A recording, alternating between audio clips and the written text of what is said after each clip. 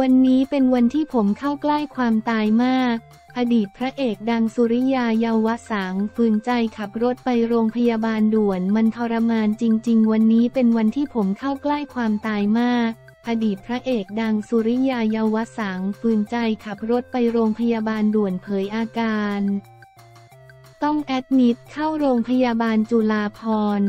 ราชวิทยาลัยจุฬาภรณ์อดีตพระเอกดังป๊อบสุริยาเยาวสังเจ้าของหลายผลงานที่หลายคนคงจำได้ โพสภาพนอนรักษาตัวในโรงพยาบาล พร้อมเล่าเหตุการณ์ว่า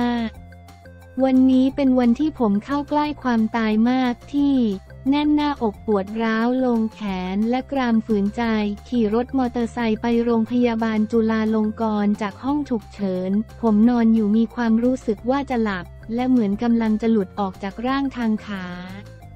แต่สะดุ้งตื่นเพราะพยาบาลเรียก จากนั้นใช้เวลาไม่ถึงครึ่งชั่วโมง ไปต่อห้องสวนเส้นเลือดหัวใจทันทีหนึ่งชั่วโมงกว่าที่นอนรู้สึกทุกอย่างที่หมอทำบอลลูนหัวใจให้ มันทรมานจริงๆ ขอบคุณมากครับ ที่โรงพยาบาลจุฬาลงกรณ์ยังทำให้ผมมีลมหายใจอยู่ต่อหมอว่าชาอีกสักหน่อยคงแย่แน่ๆ ขอบคุณครับ โดยมีคนบันเทิงเข้ามาให้กำลังใจกันจำนวนมาก อาทิตุกเดือนเต็ม เบกกี้ริสาและแฟนๆอวยพรให้หายไวๆ อาทิขอให้หายเร็วๆนะคะ น้องชาย เทคแคร์หายไวๆนะเพื่อน หายไวๆนะครับพี่ป๊อปหายไวๆค่ะพี่เป็นต้นป๊อปสุริยาเยาวสัง ปัจจุบันอายุ 52 ปี มีผลงานการแสดงมากมายที่โด่งดัง อาทิผีเสื้อและดอกไม้ กว่าจะรู้เดียงสา วงสาคณาญาติ ซอสามสาย ช้างเพื่อนแก้ว ปัญญาเรนูเป็นต้น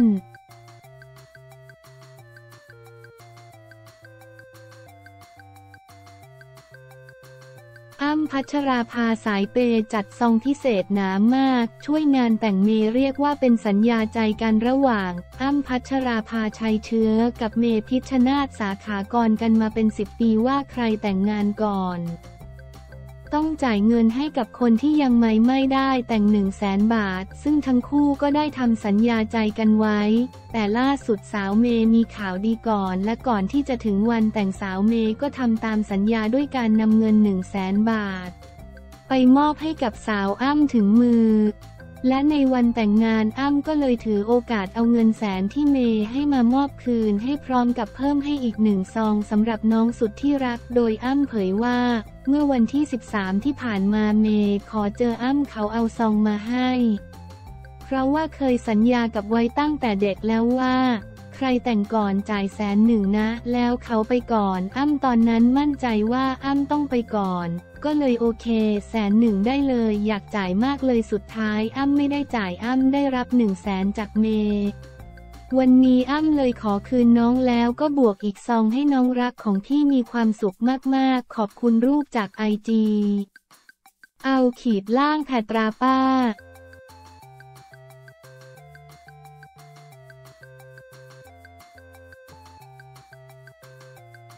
ย้อนดูท่านอ้นซื้อลอตเตอรี่สองใบ ครั้งแรกในชีวิตคอหวยแห่ซูมเลขนำไปเสี่ยงโชคมาลุ้นด้วยกัน ท่านอ้นซื้อสลากกินแบ่งรัฐบาลสองใบครั้งแรกในชีวิตคอหวยไม่พลาดแห่ซูมเลขเด็ดหวังได้โชคตามลุ้นรวยงวดวันที่ วันที่ 16 ธันวาคมนี้หลังจากที่ท่านอ้นวัชเรศ วิวัชรวงศ์โอรสในพระบาทสมเด็จพระเจ้าอยู่หัว เดินทางมาประเทศไทยเป็นครั้งที่สองในรอบปี โดยท่านอ้นเดินทางมาเป็นการส่วนตัวตั้งใจร่วมทำกิจกรรมน้อมรำลึกพระบาทสมเด็จพระบรมชนกาธิเบศรมหาภูมิพลอดุลยเดชมหาราชบรมนาถบพิตร และทำกิจกรรมเนื่องในวันพ่อวันที่ 5 ธันวาคม รวมถึงเดินทางท่องเที่ยวตามจังหวัดต่างๆ โดยจะไปแบบเรียบง่าย โดยมีกำหนดการจะอยู่ประเทศไทยนาน 14 วันหรือประมาณ 2 สัปดาห์นั้น ทั้งนี้เมื่อวันที่ 11 ธันวาคมที่ผ่านมาท่านอ้นโพสต์ภาพผ่านทางเฟซบุ๊กส่วนตัววาชรายซอนวีวาชรวงศ์หลังซื้อสลากกินแบ่งรัฐบาลสอง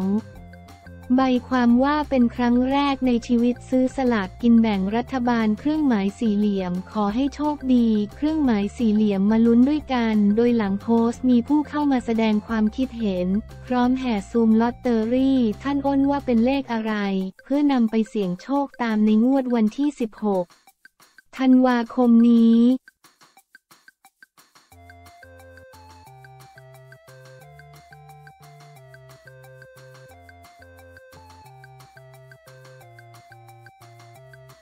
แพรรี่อธิบายน้องไนเหตุใดพระพุทธเจ้าสอนธรรมะคนเป็นพัน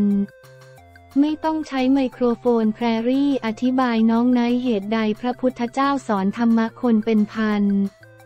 ไม่ต้องใช้ไมโครโฟนเผยต้องเข้าใจให้ชัด เรื่องการสอนธรรมของพระพุทธเจ้า ไม่ใช่พูดส่งเดชจากกรณี น้องนท์นิรมิตเทวาจุติ เด็กชายวัยแปดขวบอ้างเป็นร่างอวตารองค์เพชรพัฒนาคานาคราช สามารถเชื่อมจิตได้สามารถอย่างรู้เรื่องราวต่างๆ ทั้งในอดีตและอนาคตแค่เห็นแววตาคนก็จะรู้ได้ว่าใครมีกรรม หรือเคยเป็นนางฟ้ากลับชาติมาเกิดบ้าง โดยมีลูกศิษย์หลายพันคนต่อมาน้องไนได้ให้สัมภาษณ์ว่า พระพุทธเจ้าในสมัยที่ท่านสอนธรรมะ บางคนบอกว่า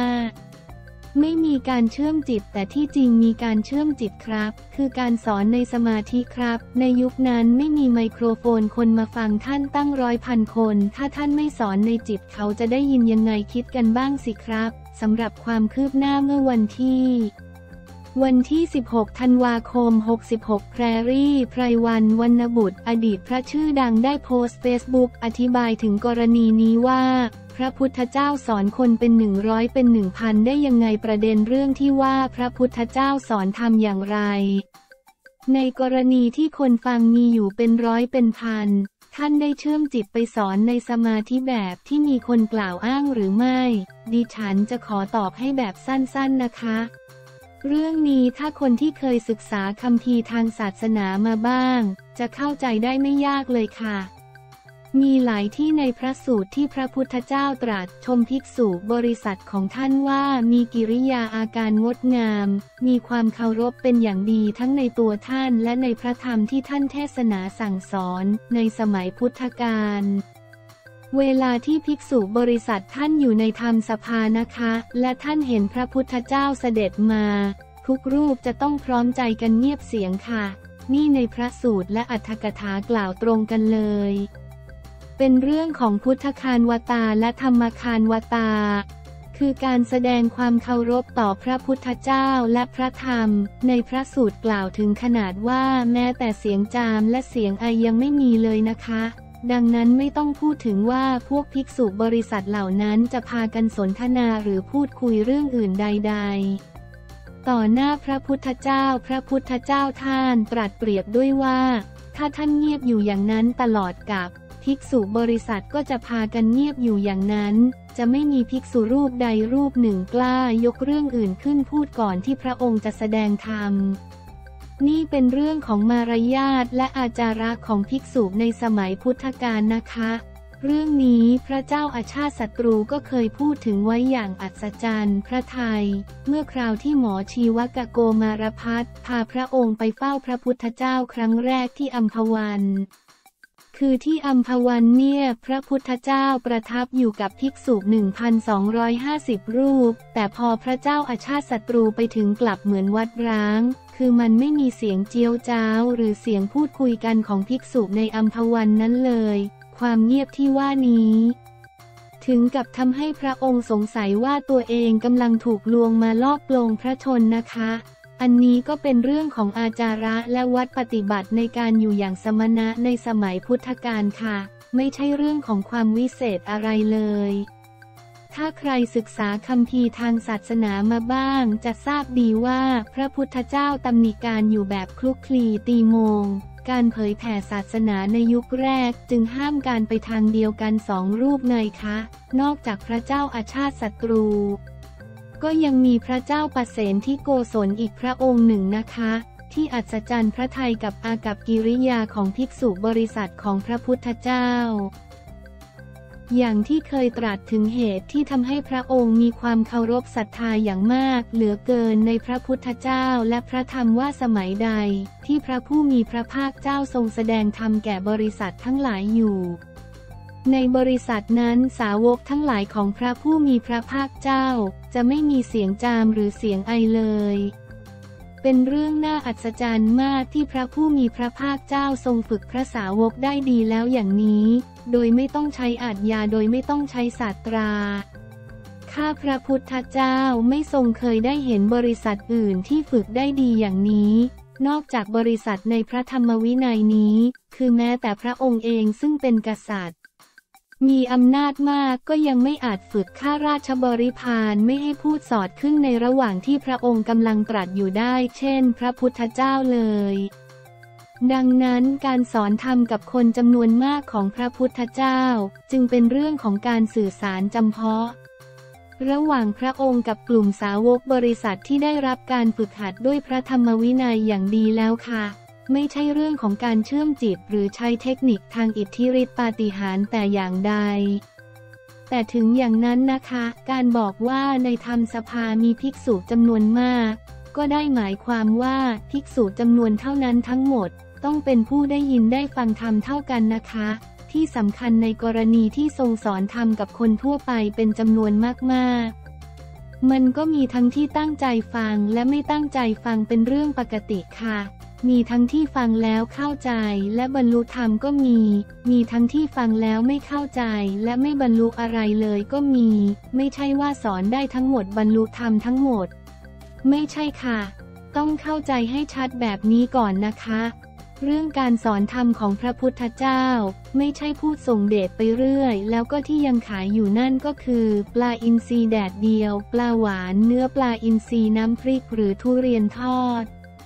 ฟังทำแล้วก็มาสั่งกันบ้างจบ